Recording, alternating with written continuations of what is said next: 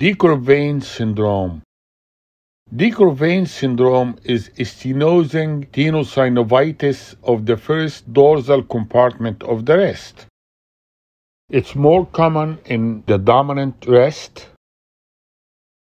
It affects the first dorsal extensor compartment of the wrist, which contains the abductor pollicis longus and the extensor pollicis brevis.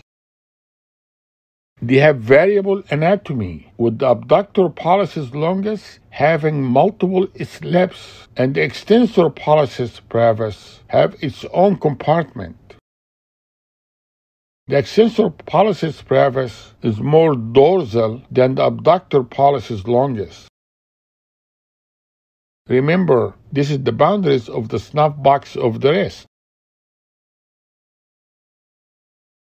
Remember, in the second compartment, there are the two tendons of the extensor carpi longus and extensor carpi brevis. The first compartment causes De Quervain syndrome.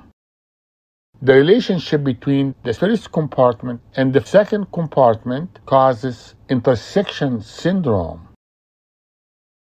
And the third compartment will contain the extensor pollicis longus. In De Quervain syndrome, there will be pain and swelling over the radial side, the thumb side of the wrist.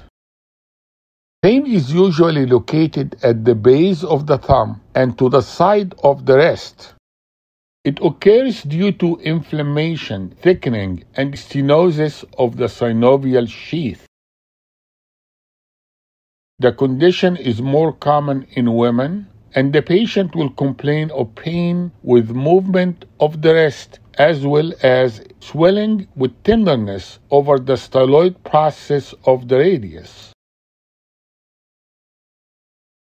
Activities that may cause De Quervain syndrome include twisting, wringing out wet towels, hammering, skiing, racket sports, playing the piano, lifting heavy objects, the condition may also occur postpartum or post traumatic.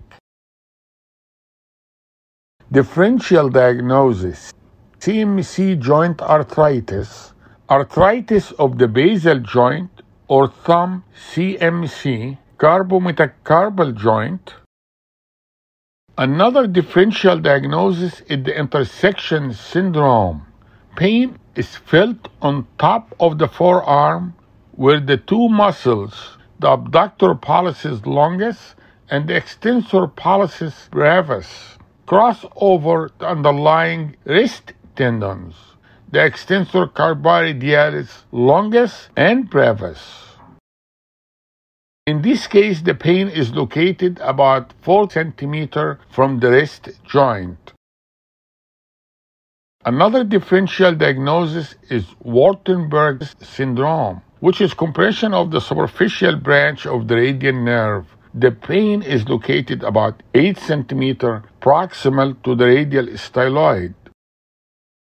In this syndrome, there will be pain and paresthesia on the dorsum of the hand with positive Tinel sign. It is hard to differentiate between De Quervain syndrome and basal thumb arthritis you do the Finkelstein test in De Quervain syndrome, and you do the grind test for basal thumb arthritis. How do you do the Finkelstein test, the test used for De Quervain syndrome?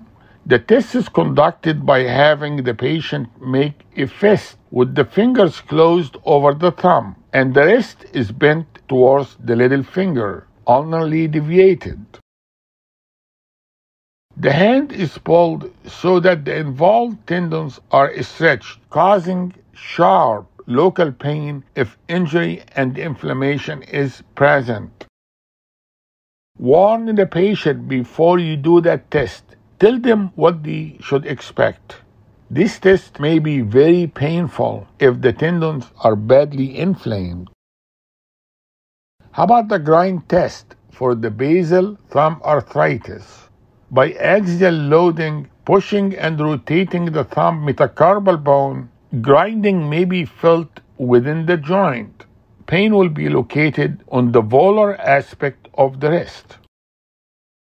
X-ray is really not indicated. However, it is advisable to get an X-ray of the hand to rule out basal thumb arthritis, which may coexist with vein or may be the primary problem in the patient condition.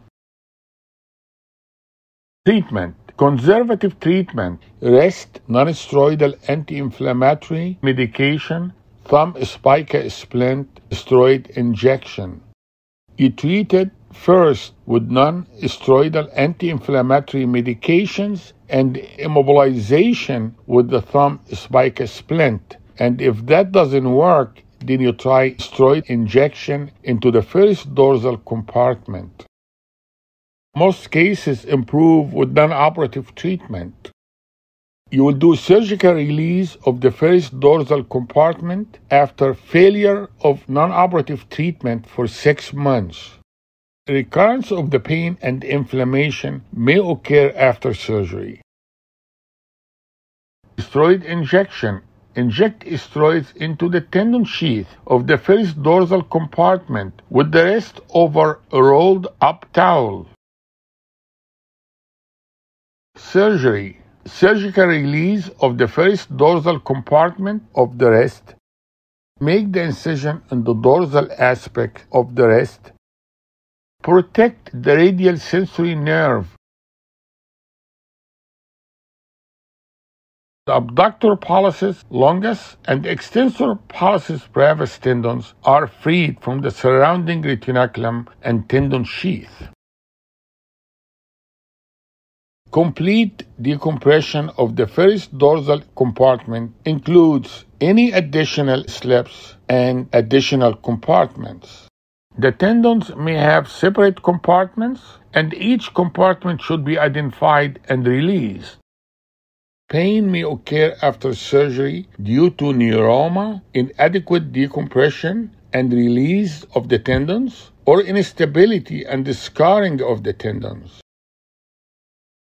Thank you very much. I hope that was helpful.